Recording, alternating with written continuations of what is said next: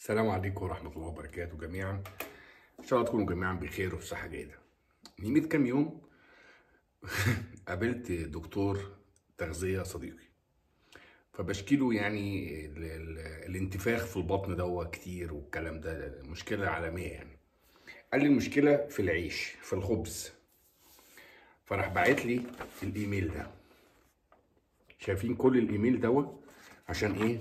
عشان أعمل خبز صحي في البيت. المكونات بتاعته شايفينها؟ whole corn bread طبعا. 600 جرام whole corn meal اللي هو الدقيق. ومعلقة ونص شاي آه، ملح بس تكون ممسوحة. ومعلقة تروكو نهيفة اللي هي الخميرة خميرة البيرة اللي هي الناشفة دي. و 550 ملي مية باردة. وبعدين قال لي تحطهم في المكن أو بتاعكم بإيدك يعني وكده. وتسيبهم يعني هو بيقول لي سيبهم يوم. يعني تسيبهم يوم وتيجي تاني يوم تحطهم في الإيه؟ في الفرن. فاتصلت بيه قلت له أسيب ال- ال- الدقيق ده 24 ساعة يعني أنت آه، 24 ساعة كتير قوي. طب يعني 550 نحط عليهم شوية عشان يبقوا إيه؟ آه 600 جرام لل للخبز ده. آه، طبعا.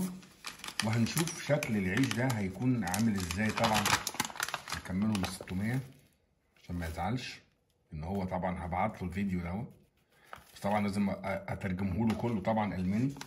بس هو طبعا هيفهم يعني أو ممكن أكتب له ادي كده 600 آه، 600 جرام آه، دقيق. ماشي؟ ناخدهم ننزلهم هنا. طب ادي 550 آه، ملي متر ولا ملي إيه دي بقى؟ مية. ننزلهم قال لي كلهم حطهم على بعض. يا رب يكون ال- الفيديو باين. كده. هنجيب الملح. هو قال لي إيه؟ يعني بلاش ملح كتير يعني معلقة ونص ما تكونش مليانة قوي. يعني كده. ودي سويسرا بقى. شعب محافظ قوي.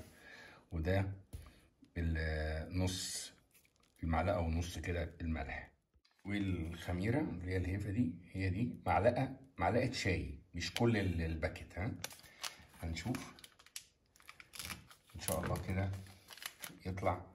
هو بيقول لي العيش ده هيعجبك جدا. وأنا يعني بحب لما الواحد يديني نصيحة بحب يعني أعرفها للناس لأن ممكن تخدم حد أو تخدم ناس كتير لأن ال- الخبز ده برضو يعني حاجة من آه، معلقة زي ما قال كده. خلاص كده. والباقي ده لسه لسه فيها برضو موجودة الخميره فأنا ال- ال- الفكرة بتاعتي بقى إن أنا إيه تملي. بجيب ال- المشبك وبقفله بيها كده فبضمن إن هي هتبقى ممتازة. وبعد كده طبعا أنا هش يعني إيه هعجن الحاجة دي في المكنة. أهلا يا نور. كده. لازم تبقى خضرة تحت يبقى أنا كده في الايه بسم الله الرحمن الرحيم. طب قولي حاجة اتكلمي بس إيه يا ist das Brot? آه برود Bravo! عيش. نيت nicht. إيش عيش. Ja, ist wie Abwehr. عيش. Wie der Eimer. قولي عيش عيش خبز خبز خبز افوخ قربش يا نهار ابيض كل السنين دي مش عارفه تتكلمي يلا. Abwehr. واو.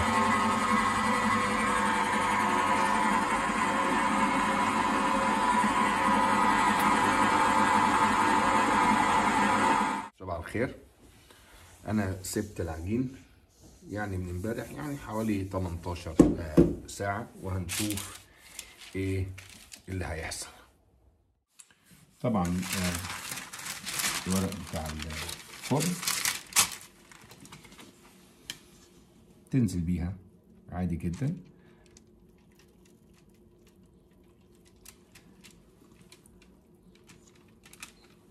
لسه برضو في شوية مية يعني لحد دلوقتي. قاعد 18 ساعة.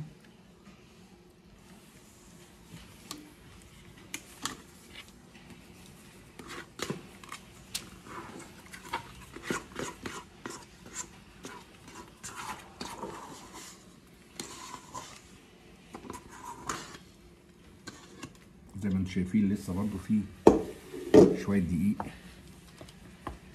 هو قال لي برضو هيحصل كده هنخليه نفرده. زي ما قال مستر الدكتور. وبيخش على الفرن على درجة 180 وبعد كده هو قال لي ده كمان ده كويس للتخسيس وللناس اللي عندها ديابيتس اللي هي عندها سكر مثلا زيادة سكر واحد أو سكر اتنين ياخدوا قطع منه. ده مفيد جدا لأن مشكلة الناس اللي عندها سكر طبعا في الخبز يعني أو في العيش يعني بيبقى ممنوعين وده يعتبر أحسن عيش ل- ل- لمريض السكر أو اللي عاوز يخسس. شايفين زي ما أنتم شايفين كده هنخش الفرن على حرارة 180 هنشوف ياخد 20 ل 25 دقيقة. ونشوف منظره بعد كده هيبقى عامل إزاي. ودي كانت النتيجة النهائية منظره كده. يعني نعتبر زي آه، بيتزا كبيرة جدا. نشوف لما يتقطع يبقى عامل إزاي.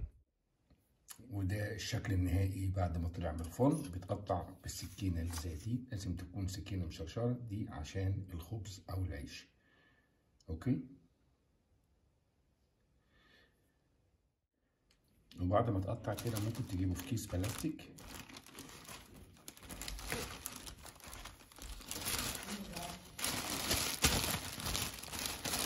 بيتحط في الفريزر أو في الثلاجة لما تكون عاوز. قطعة من الخبز أو العيش بتطلعه بتسخنه في الفرن وبتاكله بالهنا والشفا. كده بيكون الشكل النهائي تقديم الخبز. كان بيكون هنا كده في سويسرا بيحطوه في ال... في القفص ده. كده وبيتقدم مع الاكل شكرا.